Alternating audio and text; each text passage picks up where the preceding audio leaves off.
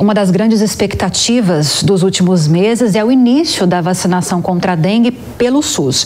A previsão é que esse trabalho se inicie em fevereiro, né, doutor? É, é muito importante que se compreenda. A, a dengue é uma doença de muita importância em termos de saúde pública pelo impacto que ela traz. E o Brasil tem sido, nos últimos anos, um protagonista dos casos de dengue no mundo. Temos altas taxas de incidência, mas de forma muito heterogênea. A gente vai voltar a esse ponto posteriormente, Lívia. É, então, qualquer iniciativa que possa, vamos dizer, é, mitigar o impacto, principalmente dos casos graves e de hospitalizações, é vista com muitos, é, vamos dizer, com muito bons olhos, né, em termos de saúde pública. E agora a gente tem a oportunidade de iniciar a vacinação. É muito importante também que se compreenda que há uma disponibilidade de doses limitada por parte do laboratório produtor. Então, o que temos de informação é que há aproximadamente 5 milhões de doses para serem implementadas no país neste ano. Então eu lembro a quem nos escuta que o Brasil tem mais ou menos 2 milhões e meio a 3 milhões de pessoas nascendo anualmente. Esta é uma vacina que é aplicada em duas doses. Portanto, 5 milhões de doses são suficientes para vacinar uma coorte de indivíduos no Brasil. Então, evidentemente, o impacto inicial dessa vacinação a gente tem que compreender nesse contexto.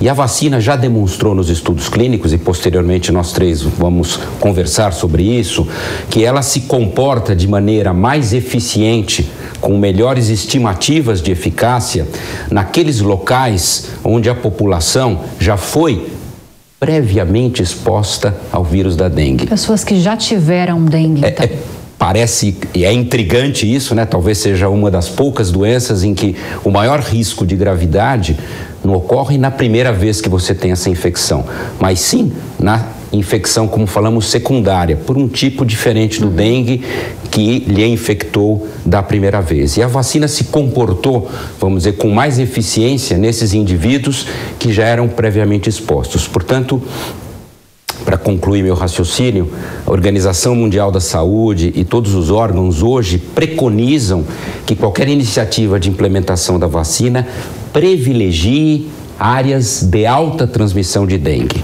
quais sejam áreas onde há um percentual da população já previamente exposto ao vírus da dengue. Quando chegam numa idade, por exemplo, eh, de 9 anos de idade, você tem pelo menos 60% desses indivíduos, dessas crianças, que já se expuseram ao vírus da dengue previamente. Então, esse é um dos critérios que hoje. Então, entendo que o Ministério da Saúde deve privilegiar nessa vamos dizer, inicial etapa, né? implementação né? da etapa, aqueles locais do nosso país em que há alta transmissão e escolher coortes de indivíduos dentro desses grupos etários que vão se beneficiar da vacinação. Então não tem uma definição ainda sobre quem seriam aquelas pessoas que fariam parte inicialmente desse público-alvo? Isso está sendo discutido em nível ministerial, então o Ministério da Saúde, através do seu comitê técnico de assessor, eh, de assessor em imunizações, né, o comitê técnico de assessoramento,